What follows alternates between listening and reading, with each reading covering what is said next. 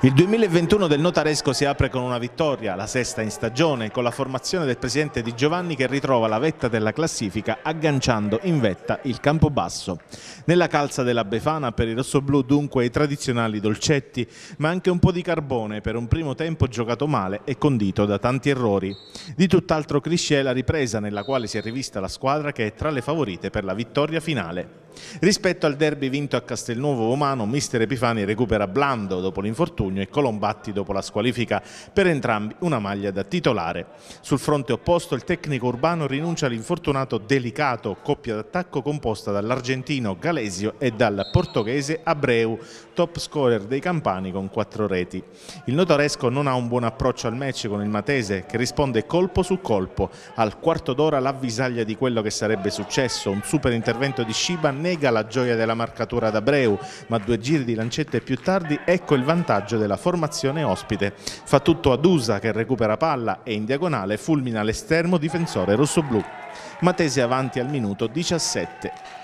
Fa fatica la compagine di Epifani a reagire, squadra che sbaglia tanti appoggi, il poco movimento che favorisce l'attento schieramento del Matese. Al ventinovesimo suona la scossa Marchionni con un'azione personale in velocità, tiro respinto dalla difesa.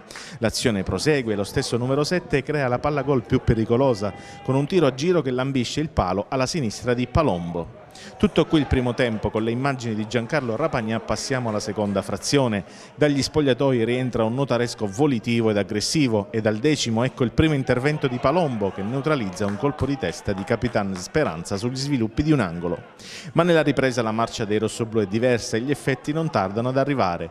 Minuto 14, ecco il pari, lo trova Marchionni, il giocatore che ha dato la scossa ai suoi, deviazione volante su cross di Banegas e palla nel sacco per il terzo centro in stagione del numero 7 di casa. Da applausi veramente alla conclusione dell'ex Montegiorgio che non ha lasciato scampo a Palombo. L'inerzia è cambiata, mister Epifani manda in campo Simoncini e Cancelli al posto di Ghiani e Blando e appena quattro minuti dopo è proprio Cancelli a ribaltare il punteggio. Azione caparbia di Dos Santos e Banegas, la sfera arriva al giocatore classe 2000 che al volo mette in rete per il suo secondo gol in stagione, Notaresco 2, Matese 1. La gara resta vibrante ed in equilibrio. È passata la mezz'ora, il Matese si riaffaccia dalle parti di Sciba con un tiro di Setola, attento il numero uno che blocca in due tempi. La risposta del Notaresco al quarantesimo con un'azione manovrata che porta al tiro il neentrato Paganin, diagonale sul fondo non di molto. Partita finita? No, perché c'è ancora da annotare al quarto minuto di recupero l'espulsione di Palombo, estremo difensore del Matese, per un fallo su Dos Santos che lo aveva saltato in velocità.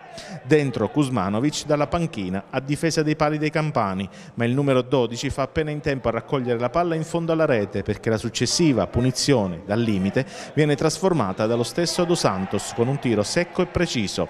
3 a 1 e quarto gol di stagione per il puntero Scarrioca che esulta mentre il direttore di gara decreta la fine del match e la gioia rossoblù che inizia l'anno in vetta alla classifica.